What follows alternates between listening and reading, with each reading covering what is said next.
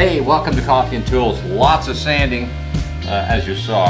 Uh, I did a nice clean dust on that, stained it, uh, put a real light coat of polyurethane on it for right now. But uh, it's going to be, this, uh, this long project, let's not go there. Let's take a look at a dado blade for a Tacklife saw and just see, can we do it? I think we can. Someone said uh, on a Tacklife saw you can't do can't put dado blades on it. So I've got a couple sets here. Here's a real set, nice set I like. Anyway, I'll put that right there. There we go.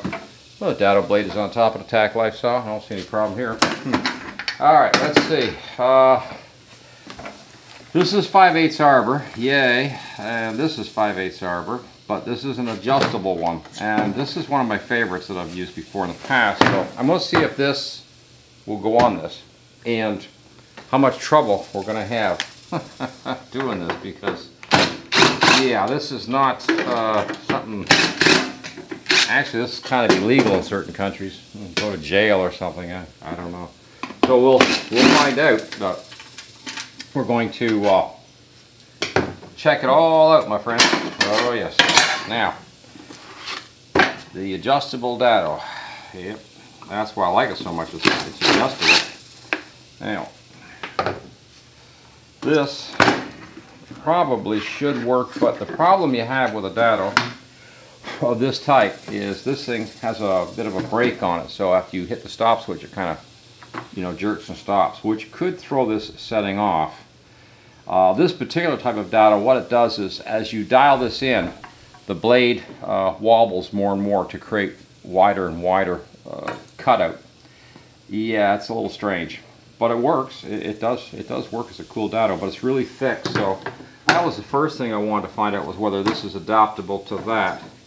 And just looking down here right now, I think uh, the answer is already no. But is you need a fairly long arbor shaft to mount the blades because obviously you're going to be taking up quite a bit of you know space with the blades. So I figured we'd find out. This is not plugged in, by the way, just so you know, everybody at home knows it's, you know, she's not plugged in. But let's see. It can be done. And at least we got the 5 8 arbor part right. Now we have a, oh yeah, there's nothing. Wow. Yeah, there's, uh, yeah.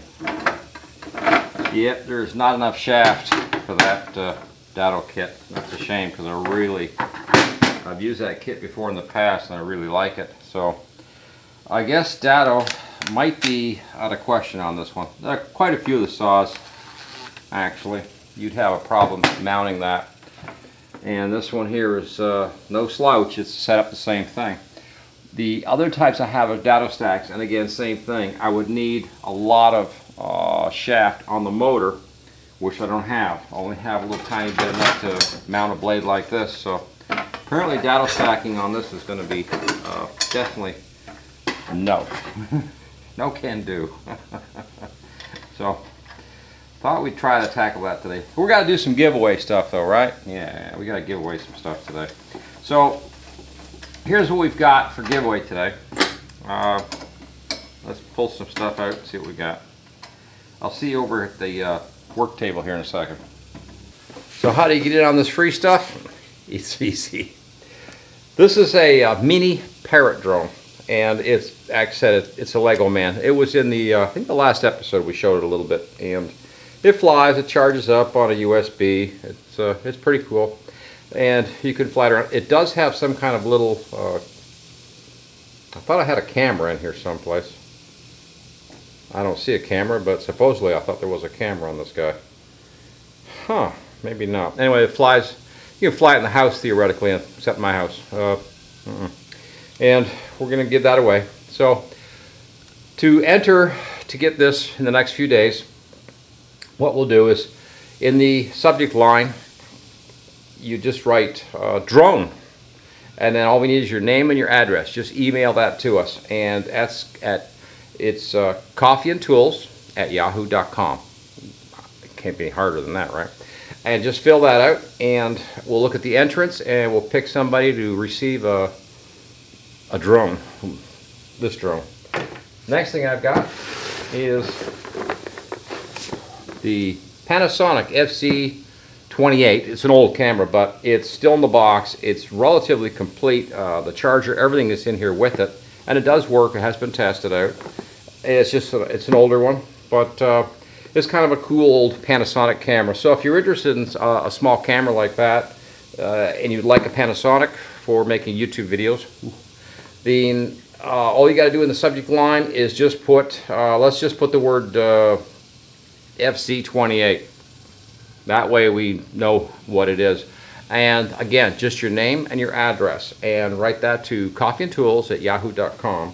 Uh, one of the first people that writes it in in the next couple days, whatever, we'll pick you and we'll ship you out this nice camera. I've got a few more of these. Let me show you how many of these things I've got. okay, we also have a, let's see if we can find the plug for this guy. Uh, there we go. Yep. We also have uh, T-Mobile hotspot. Yeah, cool. Another hotspot by T-Mobile. I have a stack of these things laying around. So if uh, you put T-Mobile in the subject line, and if you're interested, for free, we will send you out a T-Mobile hotspot. Cool, huh? and they work pretty good if you're in a T-Mobile area. They seem to work really well. The other one I've got here is uh, Sprint. Again, I keep trying to get the name of this thing right. I believe it's 8000 is the model number. But this is a Sprint uh, machine, and it's a Sprint hotspot.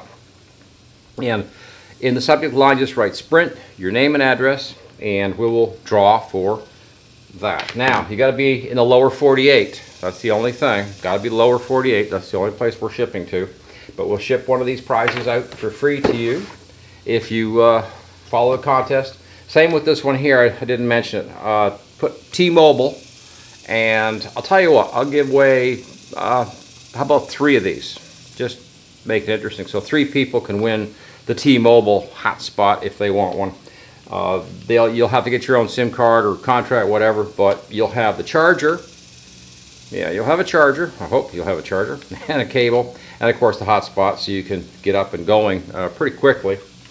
But uh, I'll get three of those, one of these, one of those, and the drone. And this week we'll, so either drone, uh, Sprint, FX28, or T-Mobile, put that in the subject line, and just name an address, email that to coffeeandtools at you know yahoo.com, and I will go through them. And in the next three or four days, we'll pull uh, the names up and we'll ship all this stuff out to you, and you win, you know, something. And we will continue to give stuff away because there's lots of stuff to be given away. So hey. So anyway, so the dado thing on a tack on the uh, Tacklife saw looks like a big no-no. And I was even going to take a look at the old saw, but the old saw had the 30 millimeter arbor, so of course that's totally out of the water.